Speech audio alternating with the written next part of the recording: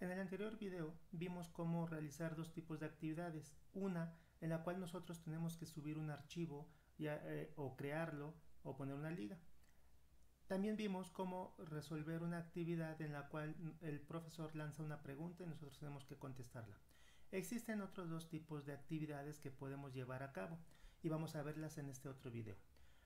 Eh, recordemos que estos son los recursos, recursos en los cuales nosotros podemos apoyarnos para o que el profesor coloca para que nosotros estudiemos, repasemos para, y posteriormente de ahí se desprenden las actividades que tendremos que llevar a cabo. Entonces eh, vamos a ver este tipo de, de actividad.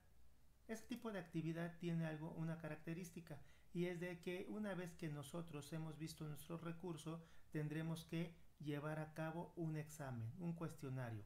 Entonces, bueno, vamos a ver la tarea, ¿sí? Suponiendo que ya vimos este, el, el video, el PDF, no sé, el recurso que el profesor nos haya, nos haya puesto, vamos a, a contestar el cuestionario. Para esto le damos clic al nombre del formulario.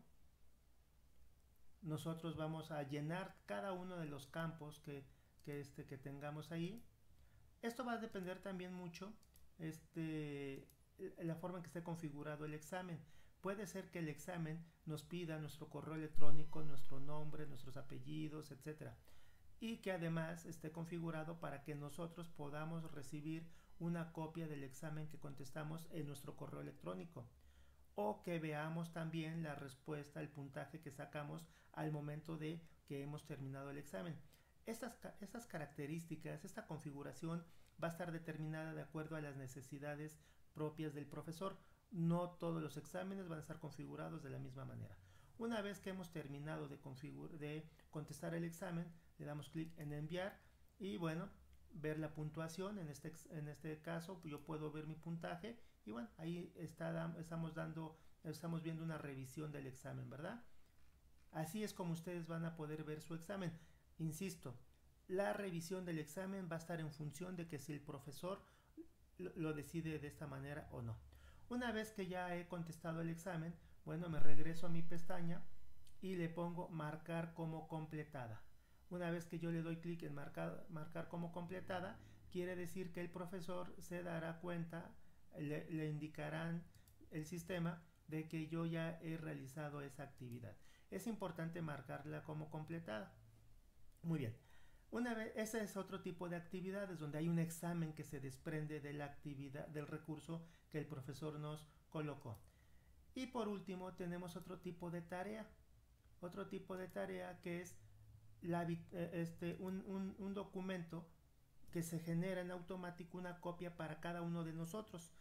Un documento en blanco. De tal manera que entonces yo tengo que llenarlo de acuerdo a las indicaciones que aparece. Es, recordemos, es el nombre de la actividad yo voy a hacer en este caso una bitácora, una bitácora con lo que yo ya sé que debe tener una bitácora. ¿Por qué? Porque en el bloque, en el encuadre, ahí me indica que es una bitácora, por ejemplo. Yo le doy clic en ver tarea y bueno, cuando yo le doy clic en al, trabajo, me va a generar una hoja o un documento, dependiendo, insisto, de qué es lo que quiere el profesor, un documento con el nombre de la actividad. Y es ahí donde yo la voy a desarrollar yo voy a empezar a escribir, por ejemplo, este es un, el caso de un nuevo este documento de tipo Word, ¿sí? Yo lo lleno, lo completo con las, con las indicaciones que me dio el profesor. Una vez que yo ya lo completé, eh, yo lo, incluso la ventaja es de que yo lo puedo cerrar y volverlo a abrir desde mi este, carpeta de Google Drive. Y una vez que yo ya terminé de hacerlo.